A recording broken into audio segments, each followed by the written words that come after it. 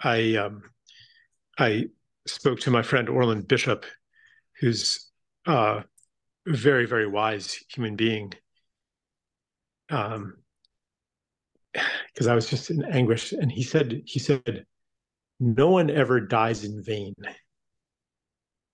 These people who are, and this was before the um, invasion of Gaza, you know, before a lot of the retaliation had, had, had started, but it had just was just starting.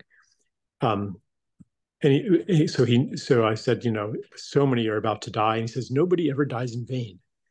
That this is potentially an initiation for the whole planet uh, because it is so visible, you know, because it is at the forefront of consciousness.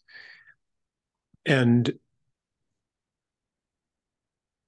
it means that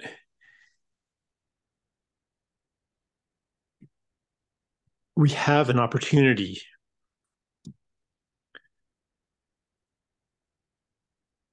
To honor those who died by making sure that it does not happen again. Like, in a sense, that's what they died for, so that it won't happen again, so that we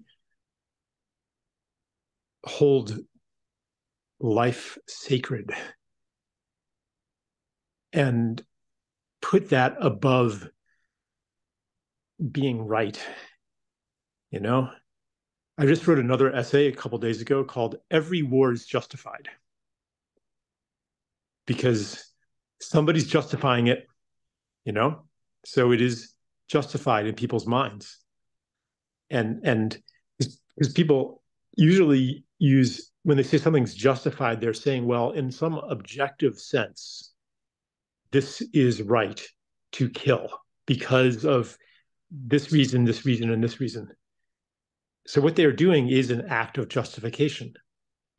Every war, every war, there's somebody justifying it. Every killing, there's somebody justifying it.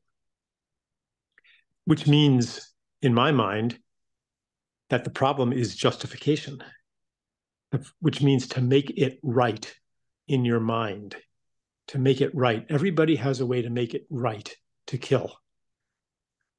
And, you know, maybe sometimes if you agree with the premises, maybe it is right. You know, you can make all kinds of reasons why it's right. But I'm not interested in that.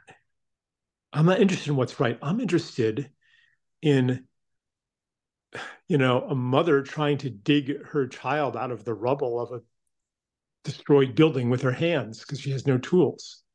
You know, I'm I'm I'm interested in in the the the whimpers of children and the cries of mothers and the, the mm-hmm. wailing of brothers and sisters and parents, you know, like can't we be there, you know?